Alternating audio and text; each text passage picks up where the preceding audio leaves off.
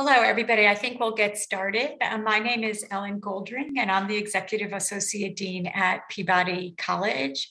And on behalf of Peabody College and the Peabody Research Office, we welcome you to our research conversation this afternoon. Uh, it's my pleasure to introduce uh, my colleague and our speaker today, Maury Nation. Um, Maury is going to talk about the relationships between urban schools and urban communities. Maury is the Bob Innes Chair and Professor of Human and Organizational Development at Peabody College of Education and Human Development. Professor Nation's research focuses on the prevention of violence among school-age children, understanding community and neighborhood qualities and characteristics that promote youth development, and developing programs and practices that promote positive school climate and equity for students of color. He has been principal investigator on numerous large scale grant from sponsors such as the Centers for Disease Control, the National Institute of Justice, and the Health Resources and Services Administration. He is a pro prolific scholar and writer with many influential publications, including What Works in Prevention Principles of Effective Prevention Programs that was published in 2003 in the American Psychologist, a seminal piece that has been referenced and cited over hundreds of times. He is an active member of community and professional associations in such roles as serving on the board of directors for domestic violence intervention here center here in Nashville.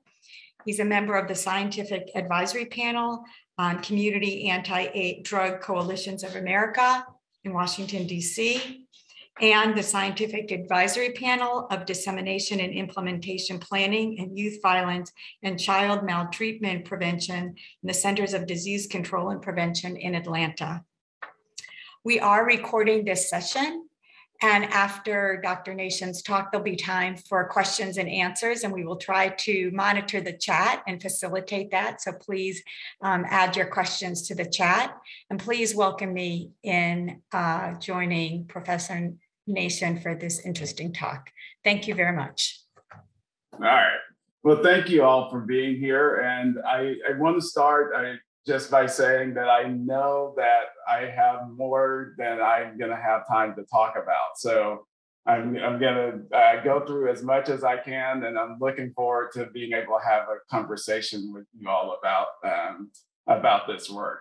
Uh, before I start, I definitely want to acknowledge uh, those who have been uh, involved in this work and want to give a particular uh, shout out to uh, Metro Nashville Public Schools. And um, they have just been uh, very deeply uh, engaged and, and just a vibrant partner in helping to, to pull this work together.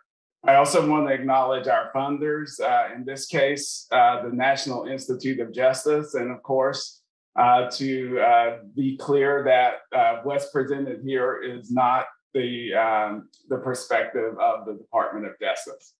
Um, so I want to give you an overview of what I'm hoping to talk about. Uh, the, the, first part of the presentation is really focused on uh, the why. Why is it that we focus on urban education and how we define uh, the, the construct of interest. And then uh, next, I want to focus on some of the work here locally in Nashville, uh, in particular, focusing on the, the Nashville longitudinal study of youth safety and well-being that I think uh, illustrates some of the issues that are uh, affecting urban school districts and, and some of the complexities in understanding how uh, communities um, community context impacts what happens in schools. And then uh, finally, I want to share uh, some of the data, uh, and uh, it's certainly a work in prog- process uh, or progress. But um, I want to share both what we are starting to see as well as the things that we have on our agenda over the next uh, several years, actually. Uh, so with that, I, I will start by giving a shout out to uh, one of our colleagues, Rich Milner, because I, I, I think about when we use the term urban education, for so many times it has been coded language for uh, essentially Black students and uh, having a very individual student identification um, uh, with, with this term. And I, I appreciate the work that Dr. Milner and his, his co- collaborators have done in trying to expand the ways in which we think about that so that it is much more of a, a, a sociological concept, uh, uh, tying into things like the size of the community, uh, as well as the resources that are surrounding the community. So um, uh, Rich and his team developed this, this taxonomy of, of urban schools, uh, uh, intensive, emergent, and characteristic. And it really varies on the size of the community. So we're talking about urban intensive uh, districts, which um, are typically communities that are a million uh, folks or more. Uh, and then you have emergent uh, districts that are are essentially mid-sized cities, and then you have these characteristic uh, districts that are schools that have many of the, the kind of demographic characteristics that we have come to associate with urban districts, but are not, uh, or urban schools, but are not necessarily located in urban areas. Um, one of the things that that um, uh, Milner and, and et al. notes is that there are several characteristics, particularly student characteristics, that goes along with this designation. So you tend to have an overrepresentation uh, or a significant representation of low uh, socioeconomic status, um, a, a, broad racial diversity, and uh, um, uh, a significant population of English language learners.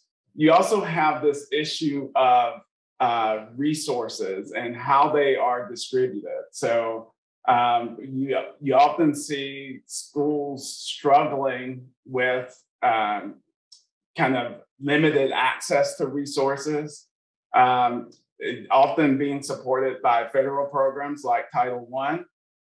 And um, what I, I draw attention to this in part because I think the urban intensive districts are really um, have a special set of problems that, that, that they face, and I think that's one of the reasons why uh, uh, Milner et al. really uh, talked about uh, this this particular characteristic because once a district has gotten to be urban intensive, it faces not only these issues, which are are largely descriptive, but I like to think of it as a, a, a sociological issue that that uh, many of these districts begin to face. Uh, those come out in the form of community structure.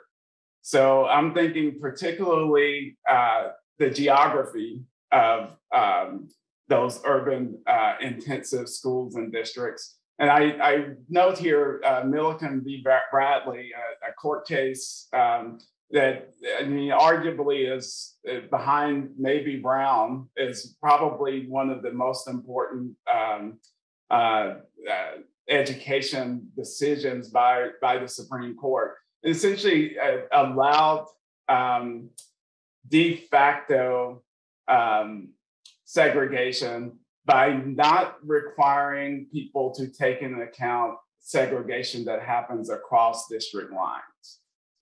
So what you started to see happen in many of the, the, the, the large urban areas is what I refer to as this, this idea of a symbiotic district. That is a high performing district that's often placed somewhere really um, adjacent to the urban district. And we can see multiple examples of this. Uh, certainly, uh, you think of places like uh, DC, where you have the Northern Virginia districts. Um, you have uh, here in Nashville, uh, Williamson County's district, uh, Memphis with the Germantown district. Um, these are, are again, places, ways in which the population repositions itself often replicating the segregation that was designed to be undone by by the Brown uh, decision. Um, you also see this then reflected in the residential segregation. That is essentially people move as opposed as opposed to segregating their schools, they segregated their, their residential neighborhoods and uh, and then created schools that that um, essentially community schools that drew on the, the local neighborhoods. Um, you also see these districts affected by um, uh, gentrification and housing insecurity. So part of what you start to see is um, either um, uh, significant problems with homelessness and and students not able to to have secure housing. You also see displacement of students, uh, often from um, uh, either uh, the low income neighborhoods that are then being uh, uh, resettled and increased by um, um, essentially by new people who are entering the community and displacing people because of the, um, the increase in property values. Now, what that does then is lead to another level of, um, of uh, kind of demographic sifting, uh, for lack of a better term. So you start to see this divergence between the demographics of the community and the demographics of the schools and the school districts. Uh, and what goes along with that is often a, a divestment in, in public education. That is, that, that people who have the most resources and often the most power are no longer actively engaged with the district. And then finally, uh, in urban intensive districts, you almost see universally these public narratives that start to emerge about the district that reinforce many of these other processes that we talked about. So uh, urban schools are violent. Urban, uh, the parents of urban students don't care. And uh, these are just a sample of, of many of those types of, um, of narratives that start to emerge. Now, I raise this, um, and lastly, uh, again, a shout out to Milner and, and um, colleagues because they also know that, that what happens outside of school matters. And uh, we know that through a variety of different types of studies that, that the, the, geo, the geographic context matters, that is, uh, differences across neighborhoods, socio-political context matters. Um, we also have seen that environmental context matters uh, in the form of the, the types of social and biological toxins that, that have been associated with uh, school outcomes. Now, what we know much less about is the mechanisms by which those um, these contextual factors impact what happens in schools. And I raise that because I, I think those of us who are interested in, in urban schools, this is a particularly important um, uh, uh, kind of dimension because, yeah, we're we're definitely worried and, and interested in schools as uh, uh, our education as a justice issue that is that there's equity within our schools but we also uh, many of us and i count myself among them sees education as a tool for social justice as well so ideally we are able to leverage what happens in schools to be able to to mitigate some of the, the, the, social injustices that are happening in, in our broader community. So I, I, I, I think one of the things that we are acknowledging in urban education is that there's important missing pieces around understanding the mechanisms that connect uh, communities, uh, urban communities and urban schools. Now, I do want to talk a little bit about how this then applies to Metro Nashville Public Schools. And I want to uh, kind of go back a little bit to um, 2014 when we first started some of this work. And what you start to see is this, this significant changes in the district um, that have started, I mean, depending on how far you want to go back, we can we can go back to the mid 60s where we started to see shifts in the, the student population. I would say that especially in the in the uh, mid 90s, that's that process started to accelerate. So now you have uh, the majority of the, the students who are experiencing some type of economic disadvantage. Um, you have a significant portion of the, the students in the, or uh, school age students in Davidson County attending, not attending um, the public school district.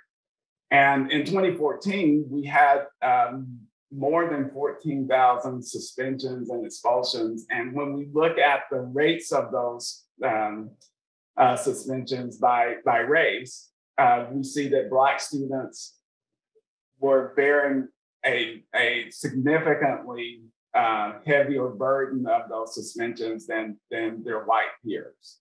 Now, um, along with that, we have these dramatic kind of demographics uh, uh, changes that were occurring since the mid 90s, as I mentioned. So, what you see is, um, uh, in, in many ways, uh, it's hard not to be struck by these changes. Um, in, in, essentially 15 years, um, uh, I'm sorry, 25 years, uh, you have these type of shifts in the, the the, the types of students that the, the district is serving. And what you essentially see is that the these are happening incrementally across years, such that even as the district tries to adjust to the previous change, uh, the new changes are such that they're they're always, uh, in many ways, having to to struggle with being a step behind. Now, one of the things that I think we're observing in this data is that that uh, Metro Nashville is in many ways developing into this urban intensive district. That is now we now have a a, a student population that's majority minority, and that's not true of our uh, of Davidson County. Uh, there is also uh, uh a kind of unequal distribution of resources. And, and we can talk about this in the broad sense between, uh, say, uh, districts, but we can also see it within schools. That is, if you walk into, um, uh, say, a, uh, a, a, Belmont um, Belmont Waverly Elementary School, that's going to look a bit different than, uh, say, uh, Haynes um, uh, middle school or a, a, Stratford High School. And, uh, and those have every, uh, many things to do with the types of students that are being served there. Um, the other thing that we see in the, uh, the, the district data is these outflows of particular types of families, um, particularly the uh, families that are middle class, um, um, much more um, or disproportionately likely to be white families uh, moving to suburban districts. And this is happening especially once we get to the middle and high school uh, uh, level. So if you look at the distribution of Metro Nashville students, they are disproportionately located in elementary schools, which tend to be much more focused on community um, um, homogenized communities as opposed to the high schools that have um, that would draw across many and more diverse communities. Um, and what we see as a result of this is that in, in many ways the residential segregation is then replicated in, in the schools, um, in the district schools. Now I raise all of this because uh, in many ways this, this has um, the district has relatively uh, limited ability to change this dynamic internally. I mean, we can certainly talk about uh, policies like busing and, and such that might even out some of the, the demographic differences.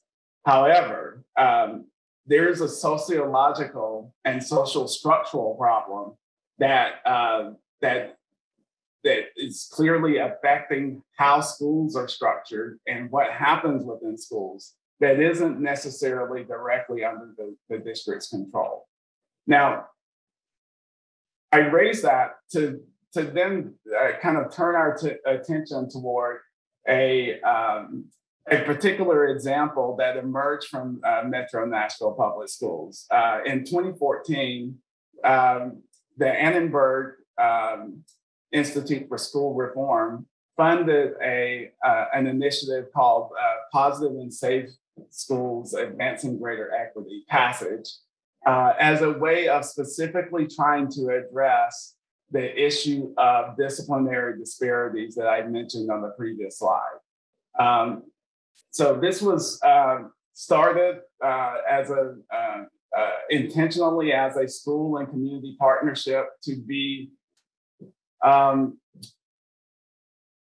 for both schools and community partners to be in conversation with each other about how about the sources of these inequities and the ways in which we might develop um, uh, policies that might reduce these inequities. So uh, one of the things I was privileged to be a part of it, and uh, it was uh, a broad coalition of, of stakeholders, including uh, district personnel at, at, at, many different levels, uh, youth serving organizations, police, uh, the mayor's office, and, and many of the, the metro departments, parents. and I would note that, that these aren't mutually exclusive categories, and that many of the people who were in these other categories were also parents of MNPS students.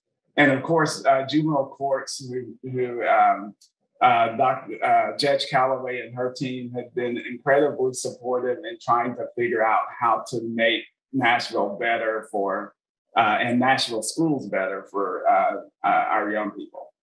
Um, I will say one of the things that I think uh, hasn't been told about the passage committee is some of the intentionality about really wanting to address race as as and and um, the social structures affecting the district. Uh, there were some hard conversations, including conversations where uh, outside facilitators were brought in to uh, to, to talk about um, uh, kind of the, the historical dynamics as well as what's happening currently. And one of the things I appreciate about having these stakeholders there is that it prevented the type of scapegoating that often goes on uh, in these conversations because uh, teachers and, and principals and parents were, were present. They could push back against narratives that really started to scapegoat any one particular group as being the sole source of the issues. Now, what we came out of uh, in, in these conversations was this understanding that it is it is complex to say the least. I mean, there are some school contributors, uh, and we see those in the form of uh, both implicit and explicit bias. That is, there is some very blatant and open racism that occurs. But I think we find that that um, much more common and concerning are the ways in which we're not even aware that we uh, perhaps bias um, in our responses to to students from from different racial and ethnic and, and economic uh, socioeconomic classes. Um, there's definitely policies that were identified, disciplinary policies, practices that, that were identified as contributing. One of the things that we also noted, and this is this is one of the first places where you really start to see the, the intersection of community is between school variation uh, accounted for much of the inequities and the, the rates of, um, of suspensions. And what I mean by that is that a lot of times when we think about uh, these inequities, we think about um, a particular school where you know the the um, the faculty or the teacher is is punishing um, a say a black student at much more frequent rates than a white student, and that happened uh, and was happening in some of the schools. However, in in many of those schools, the rates were so low. The overall um, uh, suspension rates were really, really low. So that that wasn't the, the major source of the inequity. Actually, what, what was really driving the inequity is that we have segregated schools and we have some schools that are serving mostly Black students who had higher suspension rates than those, stu- those schools that were serving mostly white students. Um, so uh, again, I think we start to see this this this intersection with our neighborhood and our community structure. Now, uh, we also recognize that there were insufficient social and emotional supports uh, that that um, were perhaps differentially affecting some schools and students. Now, second piece of this, though, was that, and I, I think the passage committee was intentional about this, is making sure that, that we also think about that broader context. So um, there was the acknowledgement that the neighborhoods aren't equal. And in fact, one of the, the real disadvantages when we start to, to talk about inequity is that so much of it gets uh, directed towards schools because schools have the best, the, the most complete data set as it relates to you. But if we start to look at, at other types of data, and if we had access to those types of data, we would probably see very similar types of inequities across multiple systems. So we know that there's uh, inequities in the, the resources and how they're distributed across Nashville. Um, we also see that there's some real uh, systemic uh, ways, systemic ways in which students are being marginalized, both in the for, uh, in the forms of the schools that they are attending, and the and the perceptions of the neighborhoods within which they live. And then we also know that that the the toxins, and I refer to those both in in terms of uh, social and uh, in um, and biological toxins aren't equally distributed as well. So um, this particular uh, committee actually uh, developed a set of interventions uh, that was focused on doing different, engaging with the, the district in a way that would reduce the number of disciplinary infractions but also hopefully reduce these inequities. And these included things like uh, in, uh, cleaning up the disciplinary codes. Uh, back in 2014, the, the most common uh, source uh, code associated with a suspension was uh, conduct prejudicial to good order, which um, as you can imagine, isn't something that is very clear in terms of exactly what a student might have done to warrant a suspension. So uh, removing some of those uh, subjective codes, rewriting the handbook, making it uh, much more student-centric, um, uh, increasing restorative responses, including the, the, implementation of restorative practices, um, implementing in, implicit bias trainings, um, and also just kind of being much more intentional about the conditions upon which um, uh, students might be um, eligible to, to receive a suspension. Now,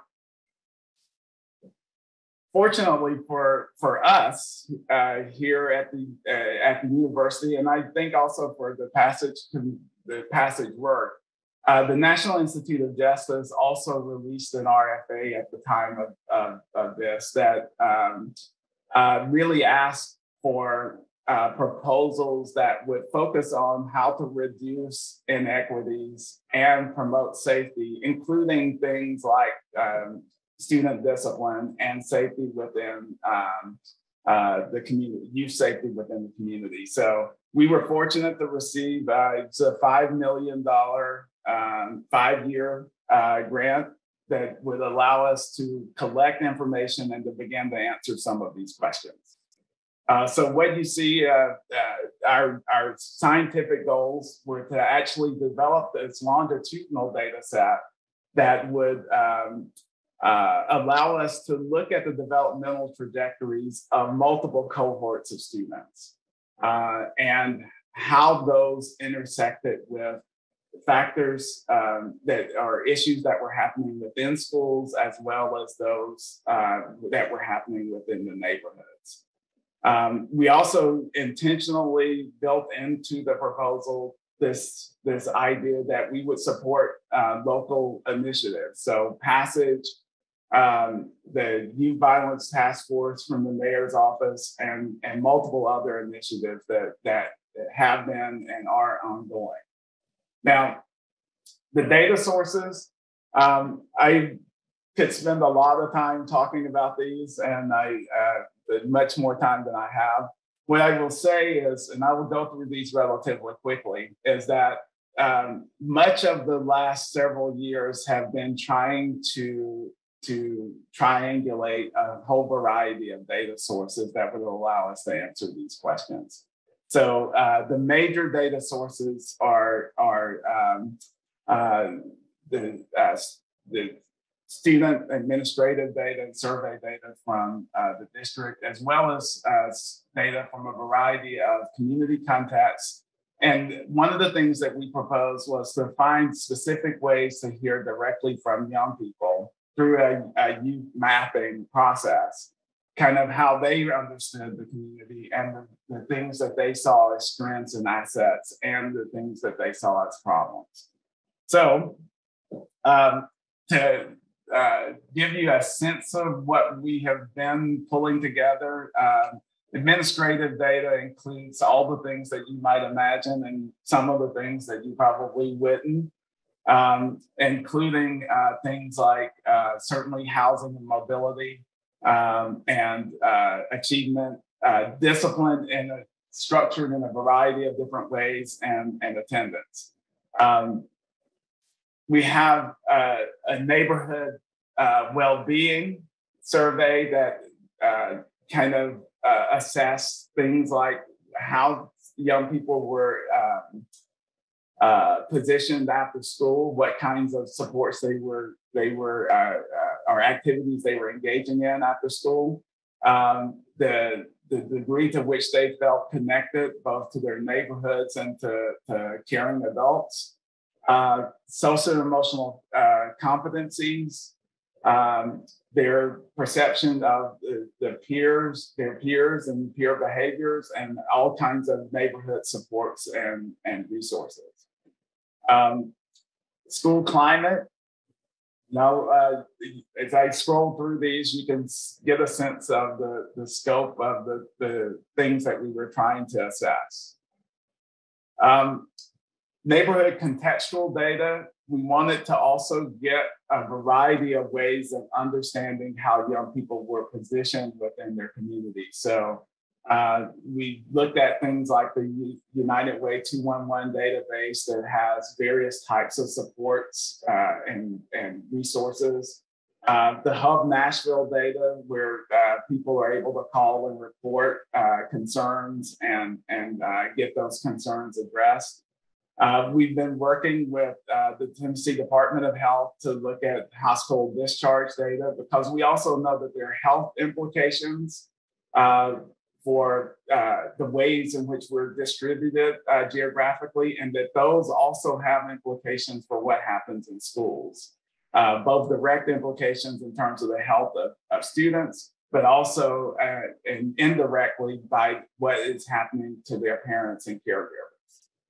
Um, we have uh, census data both decennial census data, so, so, the kind of classic data that we get every 10 years, the problem with that data in this case is that Nashville hardly looks like it did 10 years ago. So we're also using the American Community Survey data which gives much more proximal uh, information about many of the same characteristics uh, for the last five years.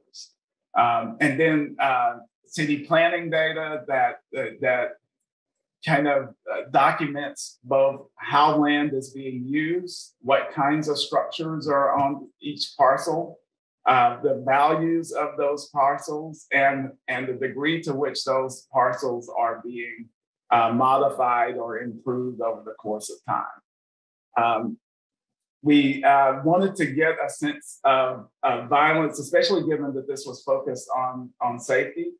Uh, we wanted to, to get a sense of, of how um, uh, the exposure to gun violence. So we looked at uh, gun violence archive data uh, from 2014 on. Um, there's also uh, police and crime data uh, looking at a variety of different characteristics, including uh, calls for service and, and stops, uh, all the uh, various types of incidents and the characteristics both of the victims and the, the perpetrators. Um, and then uh, finally, we will have been able to work with our partners at the Nashville Civic Design Center and at the Oasis Center to be able to uh, to work directly with young folks to to get their assessments of their, their neighborhoods as well as the places that they go and and find either as resources or as as problems. So um, lastly, I will uh, speed up here a little bit. Um, you know, I want to give you a sense of the scope of what we have been uh, working with. And what I can't do in this talk is to tell you uh, how much effort has gone into the, the preparing of these data sets and the, the issues and addressing issues of privacy and, and, um, uh, and, and security. Uh, the district set a high bar, uh, which uh, included uh, multiple consultations with uh, the US DOE privacy and technical assistance team to make sure that we were doing our due diligence to, to um, to protect the identities of students and such that no one is able to be, no personally identifiable information is, is um, able to be triangulated uh, through this. Uh, uh and to really be able to identify any student, one ha- has to know some already significant amounts of private information to be able to use this data to triangulate uh, identifying students. Um, so we have uh, well over a million administrative records that we're we're uh, cleaning and and and pulling together. Uh, in addition to that, the uh, uh, over eighty thousand neighborhood well-being surveys, and these are for many of the students, these are longitudinal, so we're able to see how things may have changed over time. Uh, uh, there's also school climate data, both at the student and the teacher level. Um, similarly, with the crime data, we're looking at over a, a million incidents.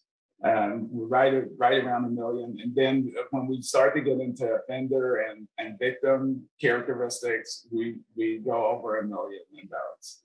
Um, so I, I, say all of this to say that for those of you who have heard me talk before about, uh, you know, hoping that data, that we can present data, this is the reason why we have, um, it has taken uh, as long as it has, is because of the sheer amount of data that, that we're trying to make sure is clean and uh, it's geocoded so that we can um, uh, we can use it as it was originally intended. Now, um, and then finally, I, I, can't say enough about the, the, the activities of our, our, community partners, both uh, the Oasis Center and the Civic Design Center, uh, working with uh, more than 400 kids uh, to do these assessments of a variety of different communities and, and, and places within Nashville. uh, that uh, have, have provided support to young people. Now, uh, real quickly, I'll take a few minutes just to tell you some of the things that we're finding. Um, so this is this is uh, I think some good news. Um, if you look at the number of uh, suspensions, out of school suspensions over the course of the the, um, the last several years since 2014 and the start of passage, what you see is uh, a significant decrease from over um, uh, over 14,000 uh, out of school suspensions to um, uh, you know uh, almost uh, around 5,000 in 2019. And I'll, I'll focus on 2019 because that is the last year for which we have uh, data that we're really confident in uh, because of COVID and and um, and some of the, the changes in in-person schooling that happened in the subsequent years. Um, so very, uh, I, I think we can all agree that there's some substantial changes. The problem that I think we're confronted by is that those inequities are still there. Uh, and uh, you know, I think one of the things that that I, I, I, believe is going to be an ongoing piece for us as a community is to figure out, even in addition to the types of things that that we've done, how then do we undo those enduring inequities? Similarly, we we've seen in school suspensions. Uh, we didn't see the same type of uh, decline, but um, one of the concerns with the decrease in out of school suspensions is that it would actually be made up for in, in, in school suspensions. And we've not seen that in the data um, uh, uh, to this point.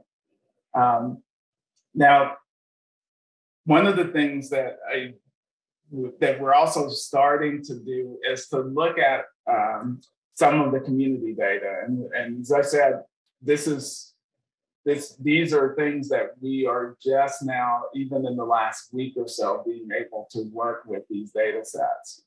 And what you see here is um, uh, the, the number of gun violence related incidents uh, that have happened in Nashville, uh, starting uh, in 2014 as an incomplete year, uh, in the sense that that was the year that the archive started. Uh, but what you start to see, especially when we start to look at specific impacts on young people, is that uh, anywhere from 10, uh, uh um, uh, from 20 or, or more percent of the, the events in, in a given year are affecting young people. And it's hard to imagine that those aren't also then having impacts, both direct impacts, certainly for those who are directly affected, but also indirect impacts on, on students who, um, who are peers and are going to school with uh, young folks or living in neighborhoods uh, that uh, these events are occurring. Um, what we've done, and just in some very kind of global analysis so far, uh, we know that that that Black and low income students uh, are experiencing different kinds of neighborhoods than uh, um, uh, white students. Um, we also know that um, that that um, students, particularly those who are um, low income and uh, are are having particular difficulty as it relates to some of the structural issues that happen in, in Nashville. That is, if you have a car, Nashville is much more easily navigated as a young person than if you don't. And and I think that is one of those things that is is correlated again with SES and with race and with geography. Um, uh, concerns about safety are also uh, correlated with uh, race and geography and, and SES. Um, we also see uh, inequities in the access to caring adults. This is um, particularly as it relates to age. Uh, older kids indicate that they're they, they have less positive relationships with uh, adults outside of the, the home um, and, and outside of school. Um, we also see that uh, as, as we started to look at multiple variables in, in combination, um, we're also seeing that um, students who live in neighborhoods that are less safe and less cohesive and have fewer assets are also the ones who have the least mobility to access uh, um, assets in other parts of the city. So it is the proverbial the, the, the rich or those who are resourced get more resource, while those who have less resources uh, tend to um, tend to be even more isolated.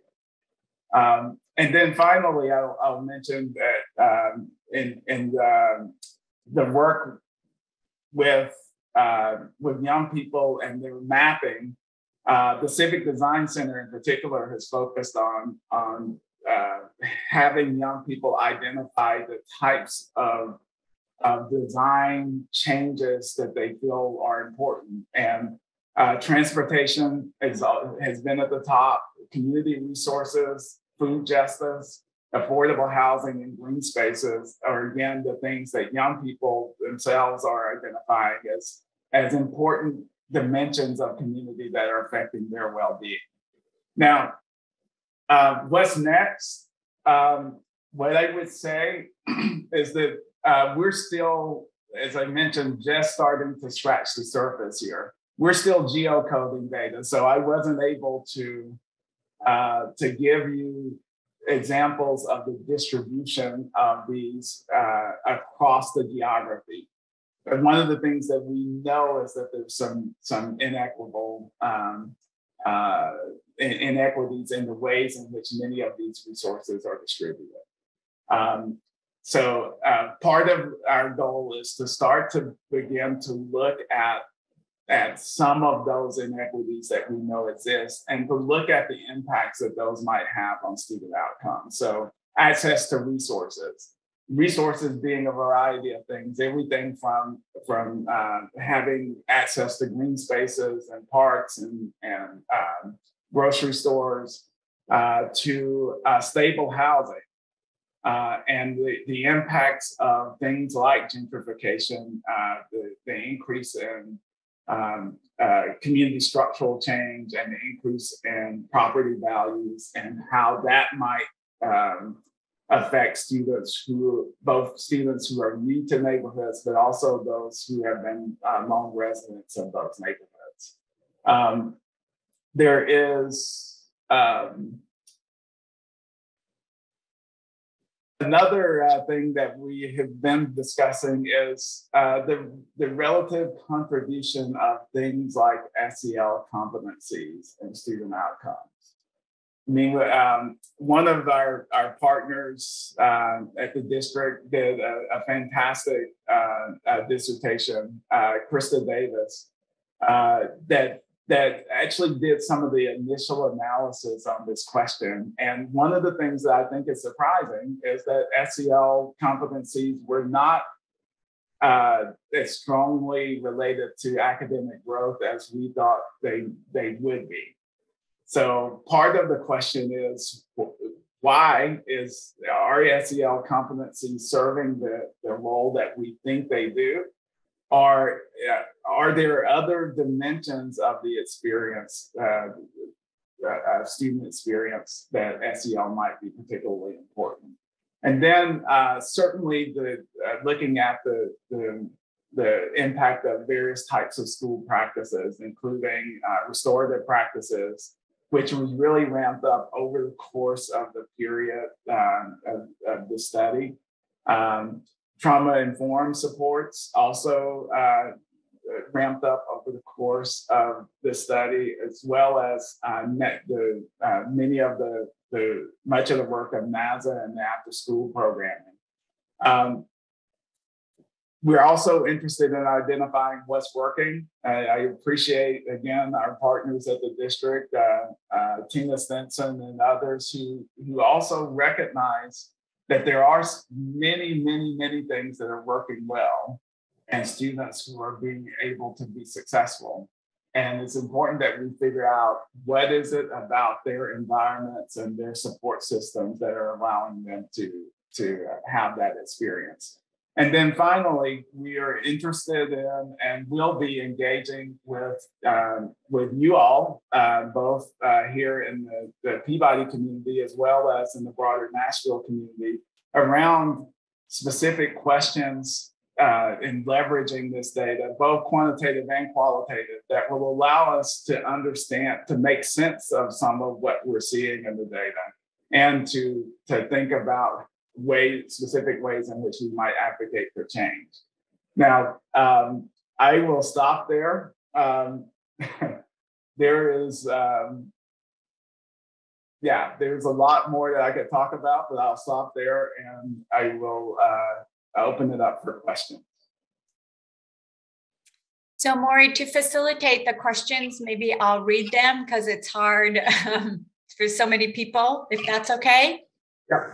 Okay, so one question we received um, is Did available employment make the list of student wants?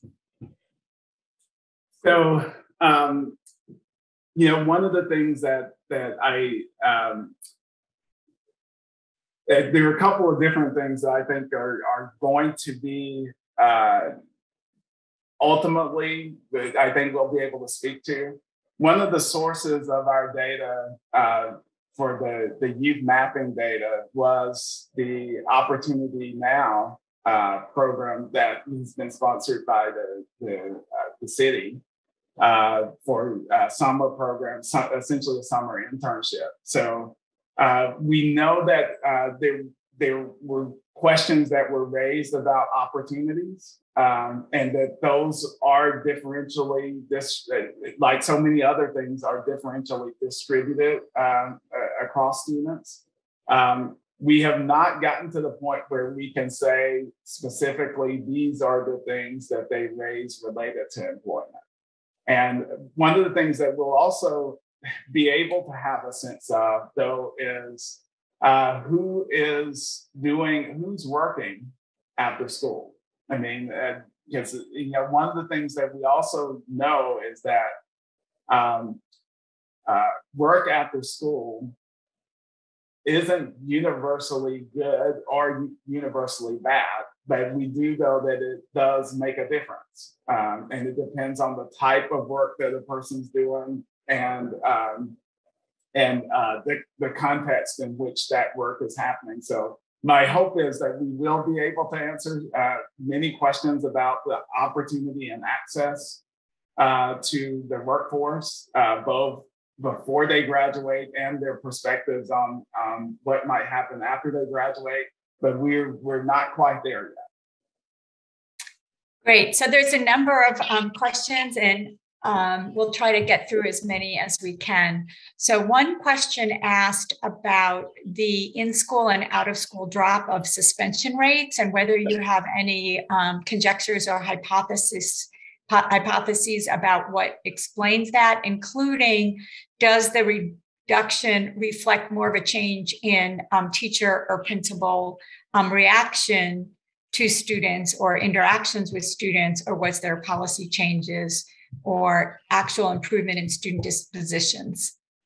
So, you know, I think I think it's hard to argue that the that some of the policy work didn't make a difference. I mean, like I said, you know, if you think about some of the subjective, and, and we've seen this in the literature, not just here, but uh, uh, you know, nationally, subjective uh, disciplinary codes are are easy targets for abuse or for pushing out students for whom one has a a, uh, a problem.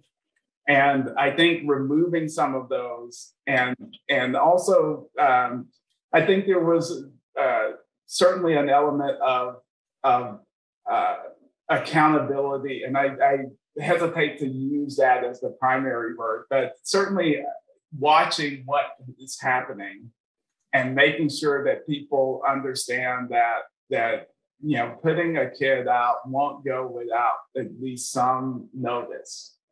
Uh, it made a difference.